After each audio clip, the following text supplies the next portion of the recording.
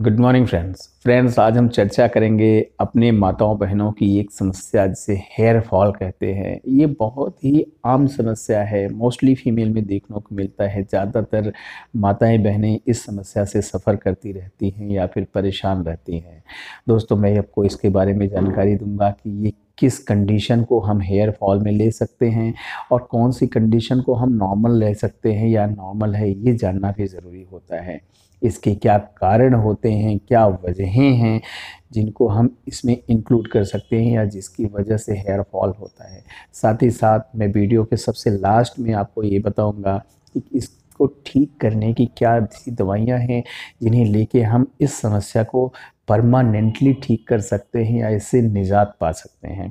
तो दोस्तों, सबसे पहले ये जानना ज़रूरी है कि हेयर फॉल क्या होता है। दोस्तों, हेयर फॉल या इसी को मेडिकल टर्म या फिर डॉक्टरी भाषा में एलोपेसिया बोला जाता है। साइंस कहती है कि 50 से 100 बाल तक गिरना नॉर्मल सी प्रक्रिया होती है। यही बाल जब मोर देन 125 125 या 150 के आसपास बाल डेली गिरने लगते हैं तो ये हेयर फॉल कहलाता है। इसके वजहों की बात किया जाए तो सबसे पहली कारण यही आता है कि हमारे माताओं बहनों की हेयर स्टाइल कैसी है, क्या वो बहुत ज़्यादा पुल करके अपने बाल बांधती हैं, बहुत खींचती हैं। जब बहुत ज़्यादा पुल किया जाता है तो उसके रूट्स हिल जाते हैं डैमेज हो जाते हैं, जिससे हेयर फॉल होने की संभावना रहती है। ऐसी माताएँ बहनें जिसमें विटामिन्स की डिफिशेंसी हो रही है स्पेशली बी कॉम्प्लेक्स की डिफिशेंसी हो रही है, या उनमें आयरन की कमी हो रही है, या फिर ऐसी माताएँ बहनें जिनकी डाइट अच्छी नहीं है, जो बहुत ज़्यादा आउट फूडिंग करती हैं फास्ट फ़ूड जंक फ़ूड खाती हैं हेल्दी डाइट नहीं लेती हैं, या फिर वो अपने फिगर को लेके बड़ा कॉन्शियस रहती हैं और उनकी, वो डाइटिंग करती हैं, उनकी डाइट ही अच्छी नहीं है। ऐसे पेशेंट जो बहुत ज़्यादा स्ट्रेस में रहते हैं, तनाव में रहते हैं, चिंता में रहते हैं एनजाइटी डिप्रेशन अवसाद, कुछ ऐसी कंडीशन में रहते हैं, उनमें भी हेयर फॉल या एलोपेसिया देखा जाता है या होने के चांसेस रहते हैं।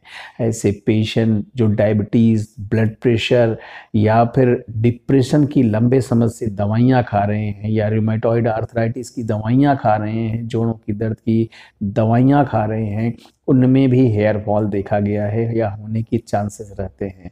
ऐसे पेशेंट जिनमें विटामिन ए की अधिकता हो रही है, उनमें भी ऐसी कंडीशन देखने को मिल सकती है। स्टडीज़ कहती हैं कि यदि आपका थायराइड इम्बेलेंस हो रहा है या हाइपर थायरेडिज़म हाइपोथायराइडिज्म कुछ हो रहा है तो भी आप में हेयर फॉल मिल सकता है।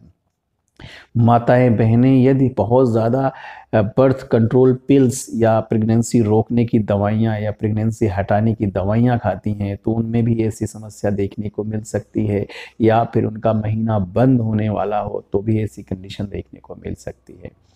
अगर दवाइयों की बात करें कि क्या ऐसी मेडिसिन हो सकती हैं तो इसमें सबसे पहली मेडिसिन का नाम आता है वेस्ट बेडन। वेस्ट बेडन को दोस्तों 200 पोटेंसी में लीजिएगा इसकी चार बूंदे सुबह दोपहर शाम तीन बार लीजिएगा।